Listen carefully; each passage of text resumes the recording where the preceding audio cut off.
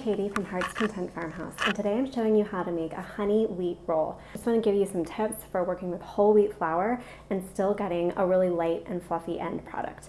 So you'll notice that this recipe is actually only one third whole wheat flour and two thirds white flour.